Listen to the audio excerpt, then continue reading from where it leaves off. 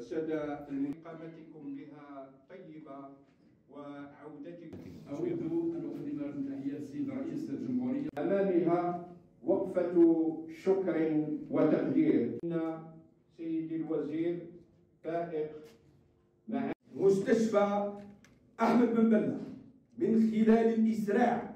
رئيس المجلس الشعبي الولادي. عندي رسالة حبيت أتبلغها للسيد رئيس الجمهورية. من مناظرة خنشلية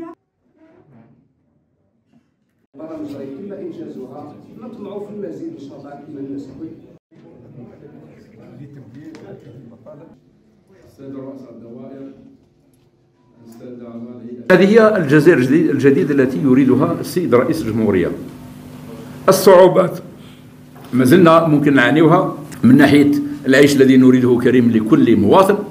إنما هذا ما يمنعناش باش معا نكونوا آه، متآزرين متعاونين متفاهمين ونظن لا أحد يقول لك بلي آه، الرئيس ما بغاش الخير لولاد بلاده أبدا.